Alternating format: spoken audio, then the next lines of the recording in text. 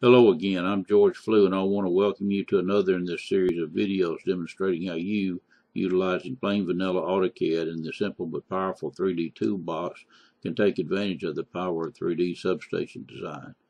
To summarize, the 3D toolbox contains over 600 AutoCAD drawing blocks including switches, connectors, structures, etc., as well as numerous apps written in Microsoft VBA and AutoCAD Autolisp. In this video, I will not be demonstrating the toolbox as much as I'll be showing you how the final drawings are put together into a drawing package. So you see here we have our our 3D substation design that we've been using in all of our videos and uh, now what we want to do is create all of the elevation views and all the various plan views that we need to make up a complete package. And you'll note down here on this bottom line that there uh, are a number of tabs including elevation tabs, foundation tabs, a plan tab.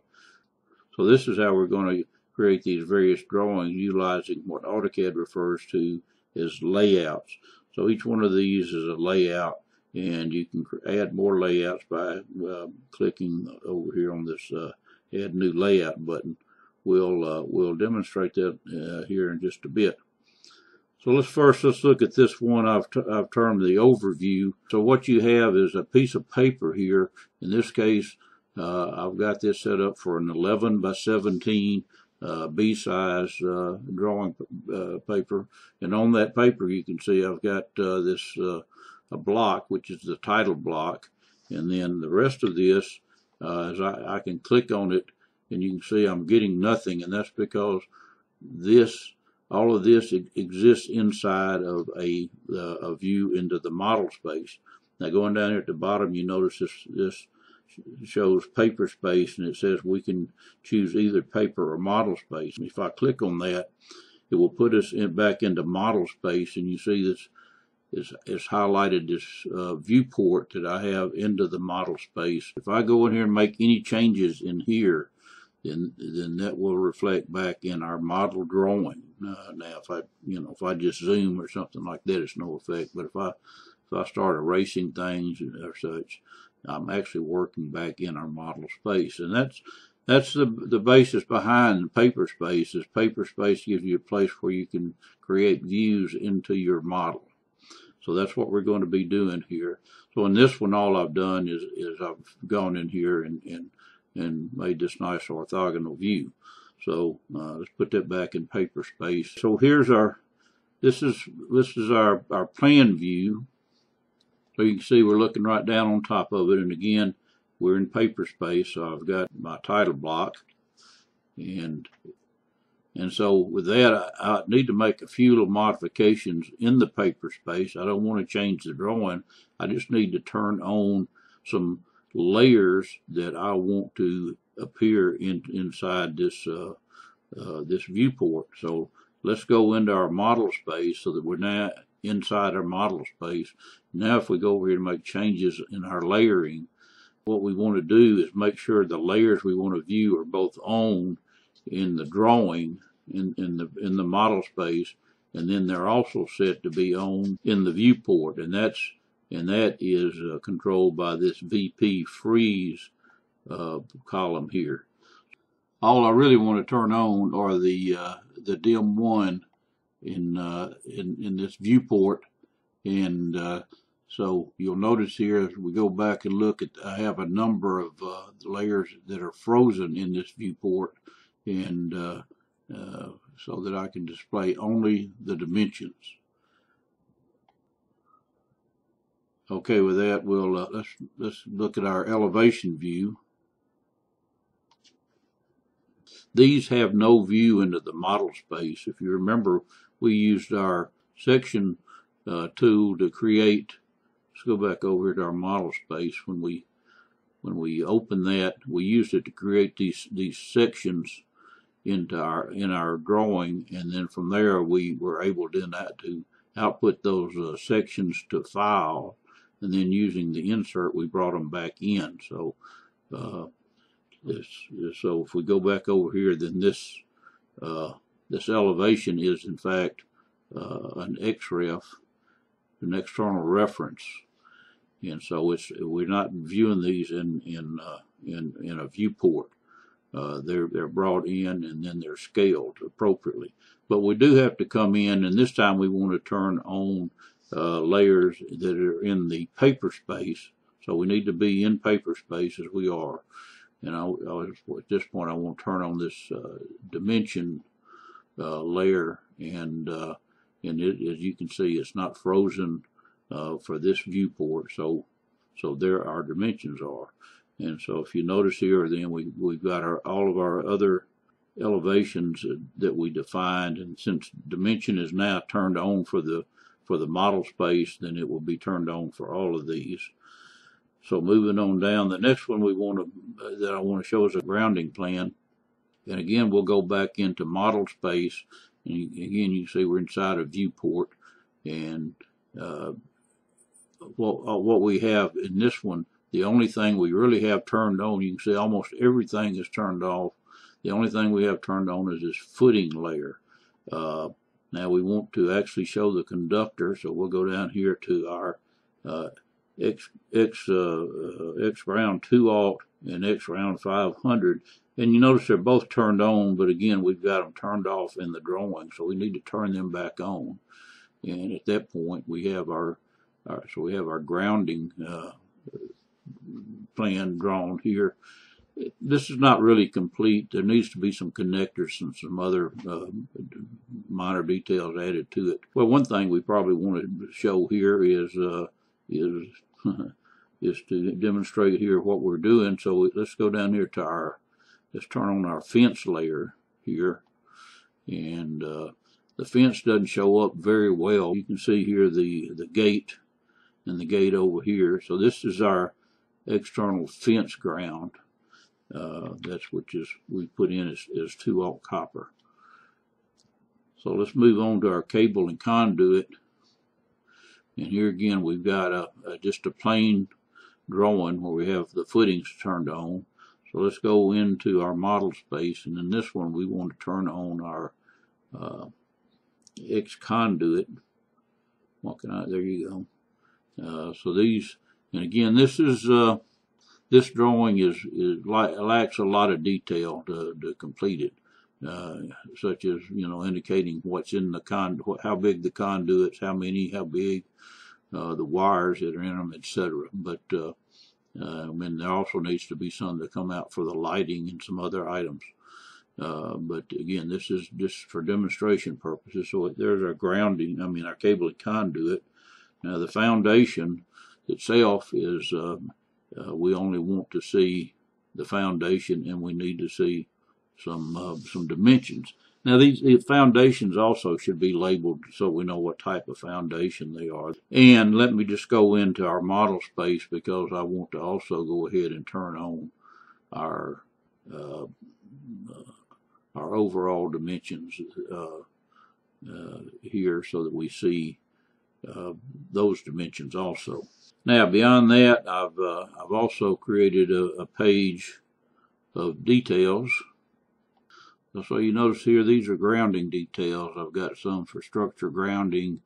Uh, here's one for, for grounding a uh, switch operating handle, your fence, etc.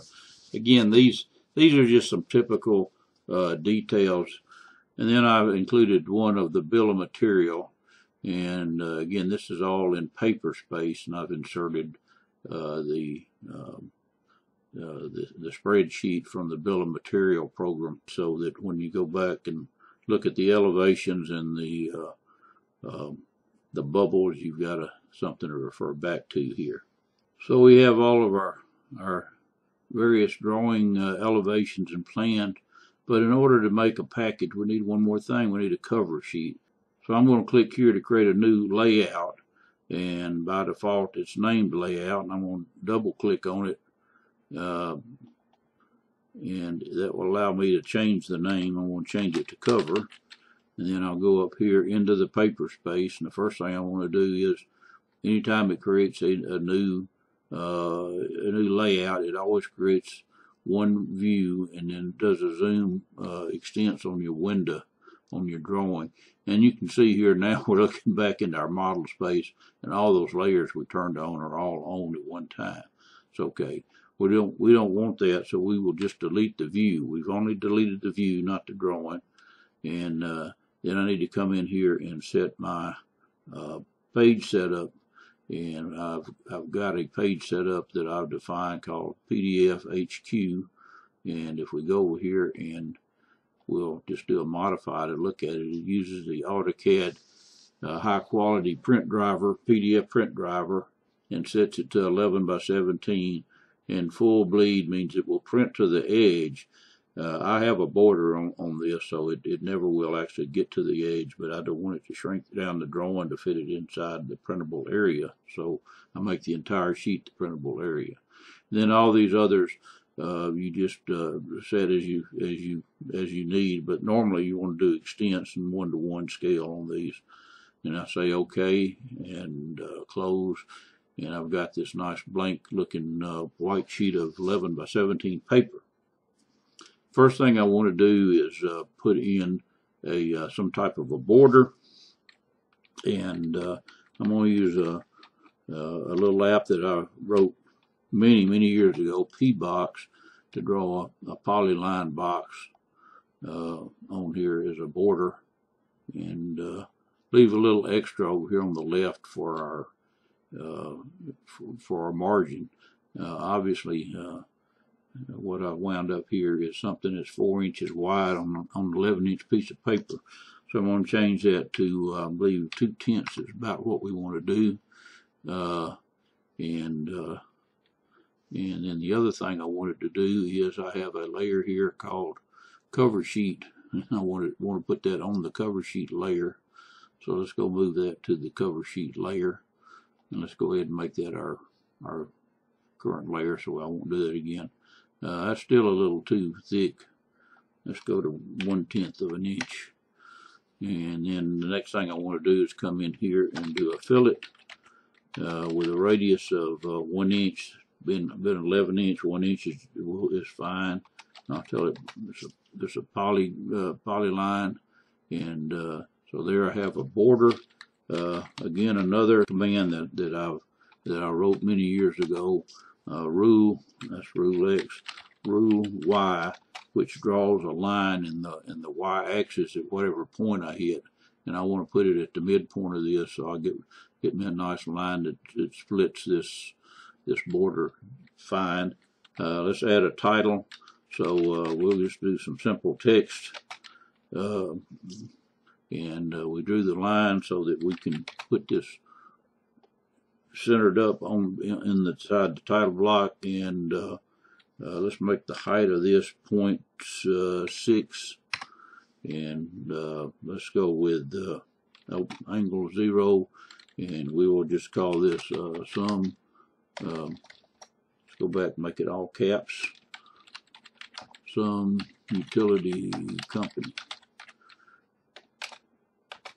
And then we're going to do another one just below it. Um, this time we'll make it a 0.5 a little bit smaller. And this will be the, the title of the project which is a new oh, excuse me angle zero new 161 kV substation. Nah, maybe we should have swapped the, those two and put the project title at the top, but that's okay. Now, every project needs a, uh, uh, a location map, so I'm going to go over here to my uh, 3D utility and go to our contact sheet, and uh, we'll just open up this this map right here and uh, we'll just zoom in until we get something suitable for a location map. Uh, I wanted to give a few major roads and uh, and of course here's our project. Uh, so this looks good. I'm going to use our uh, uh, snipping tool here and I'm going to tell it new and I'm just going to pick something nice kind of rectangular or yes nice rectangular area and then we will copy that out go over here to our AutoCAD drawing and we'll control V to insert that. Uh, I'm going to put it right here and then we'll just uh, take off our ortho. We'll shrink it down till it's inside our our box and uh, uh, and place it here somewhere on this side. Um, now, if we want to, you know, if we want to really be snazzy, we'll go back out here and we'll zoom out so you can see a good bit of Knoxville. And we'll do a new one and we will take this area here. Uh, and once again, we'll, we'll, we'll copy if I can find my cursor. We'll copy it, go back, drop it in. And uh, we'll just put it down here in the corner. Okay, so here it is. Uh, it's a little large. Pull it down here where you can want to be able to read the read that, that information so we know it's over here in this eastern part of Knoxville and then we can come out here and say that we see that we get off here on uh, uh, I-40 and uh, and Highway 11E and come back down this little road. Uh, let's put us a, a, a frame around that. So again, we'll just use good, uh, our our P-box command. Well, first off, let me do a reset. What a, a reset. This is another one of those commands. It will it'll actually grab all the information off of this including its width. So if we do a P box, we won't get some big, big funny thing that's large. Uh, though we could set this down if we wanted to, and instead of 0.2, we'd do 0.05 and uh, make it just a little bit thinner. Needs a title, so text C, put it to mid. You know, we don't want 0.5, let's put 0.25 and we'll we'll this location map and then we'll just click on it select it and then we'll use the AutoCAD nudge hold down control and hit the up arrow a few times nudge it up a little bit so they'll remain centered up there. Uh, we also need some kind of a utility name down here so let's just go with uh, text. Again uh, we'll, we'll center it uh, here on this on the line and uh, we'll leave it at, at quarter inch and we will say uh, again oops zero and we'll say the 3D utility co company. One two three Main Street Knoxville Tennessee 37914 and uh, uh, just for the something different we'll go over here and change it from Arial bold to just plain Arial now we need one other thing. We need a drawing list. And uh, as you might guess I have created an app for that called of all things drawing list. It's a Autolisp app. It, it will go out and find all of those title block blocks and it will grab the title and the number out of them and bring it in here and we just say where do we want to drop it and here we get a drawing list of all of our drawings now just to tidy this up a little bit this is centered inside the box well let's make the box unfortunately that's not if that can be done I haven't been able to do it yet uh, what did I do here? Let's try and do that again. Why is it? Oh, I probably have. Let's turn snap off. Okay, and that, that will center that up. And then the last thing I want to do is go set it on this line here with the description. And let's add a add a, a, a, a tab stop out there, which will bring that, we'll call that line. It's looking for a tab stop. And so it'll bring that line out there to the end and uh, make it look a little cleaner. And we might want to make another P box. Let's just use our reset again to make sure we get the same size of that. And P box.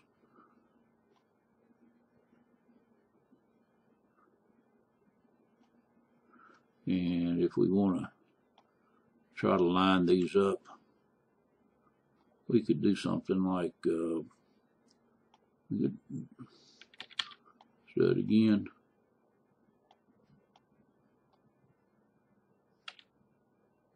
Why am I losing? Okay, I kept losing that. Do a move, we could just move it over here. Zoom in a little bit. And again, using our nudge, we can nudge it down a little bit to where it lines up. Uh, that'll probably work. I don't think you'll notice it. Uh, if you're not familiar with nudge, nudge is based on a on a percentage of the view that you're in. So if you if you zoom in, uh, you can get real fine. Uh, if I zoom in a whole lot, I get real fine movement here. Uh, so I can maybe line it up with uh, if I zoom out when I want to move back, it uh, it jumps larger. So I'm just going to move this back over here. I could grab it and drag it, but uh, that works just fine. And uh, to me, I think we've got that finished uh, as a. Oh, let me do one other thing. I'm gonna, I'm gonna come down here and just put a little line down in this corner. If I don't, it will uh, uh, it will it will try to uh, to, to move this. This this kind of will will kind of ground it down in that corner when we make our drawing. So the last thing, so we've got that done. Let's save it. It's always a good idea. And then the last thing we want to do now is to, uh, well, the next to last thing, I'm gonna grab, I'm gonna grab this one and I'm gonna, I'm gonna pull it back over here in front of the overview. You know, you'll see why here in just a few seconds. So these, these are all in the correct order. So now I want to create a, well, let's uh, get rid of this line here. I want to create a PDF file of this that I can either mail out or I can print from, however I want to do that. So let's go up here to the publish uh, command. And with publish, it will it will by default pull up everything you've you uh, uh, you you all of the drawings you have open. Uh, so if you got other drawings open, you may want to close them. Though you can come down here and and delete them out and so it gives you a list. The list is in order that they are down here. We do not want to plot model space, and so we're going to remove that. These others are in, in the order we want to print them. You can actually put these sheets together from different drawings, and you can save that under a under a, a, a drawing sheet file that you can pull up. But as long as you're just plotting out of this single drawing, uh, it's easier than, than, than saving it uh, to just pull them up and then eliminate the model space and then plot. Let's go look right quick at the options we have over here. This is a location. I'm going to a PDF folder that's underneath my project, which is off my desktop. Uh, the name of the folder, I mean, excuse me, the name of the PDF file here, you can make it whatever you wish, of course. Uh, decide what you want to do here, if anything uh, I would suggest you use lines overwrite. Otherwise, they kind of merge together and they look funny. Um, then the other thing you want to look at here is these three here. If you have a plot stamp, this is the time to, to say to do that. Uh, publish in the background will allow you to go ahead and work while it's doing all the publishing and printing in the background. And then open in viewer uh, when done will open it uh, after it gets through publishing. Now, if you publish in background, it won't do that. In this instance, we're going to not we're not going to publish in background, so we can just we can see it as it goes, and we're going to just say open it when we get through, so we can see the result. So now I just click publish, and I already have a file out there by that name. Yes, we just want to overwrite it, and it asks me if I want to save this list of uh, uh, sheets uh, for future use you can do that. It's really just as simple not to because if you make any modifications, if you add or delete sheets, then that list of sheets will no longer be any good anyway. It's easy enough just to bring it up, delete the model space, and keep going. So let's say no. And now it's going out and it will work its way through all of the uh, individual layout sheets and uh, plot them through the PDF driver to the uh, to the file.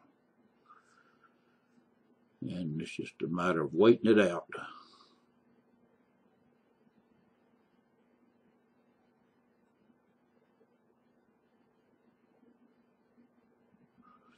And so here's our Acrobat PDF reader open. And so here you see, uh, here's our cover sheet and it's one of 13.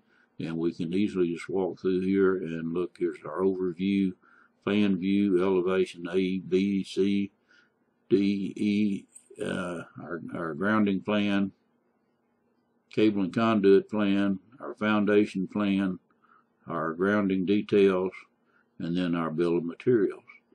And so uh, it's, it's made us a nice package, a PDF package that's suitable for emailing or for printing uh, at a later time. And uh, so let's just go back here and uh, kind of do a quick recap in our model space. We generated all of our various layers of information and then we went through our our layouts and paper space and, and where necessary created view viewports into our model space and using the viewport freeze uh, column on on our layer manager uh, you, I'm sorry you don't see the viewport freeze when you're in, in, uh, model space we have controlled which layers were displayed in that viewport and then using the uh, the publish function uh, we have published uh, all the drawings out to a single PDF file. So with that, uh, we're done on this one. If you have any questions uh, uh, or any comments, you can always go to the, let's just show that for once. Go here to the 3D utility, come up here, you'll see an upper right hand corner contact. Come over here, you can then enter your information here, your comments, your question, and hit hit submit. And uh, and with that, until uh, uh, until we come up with another video, uh, that's all for today. Thank you. Bye.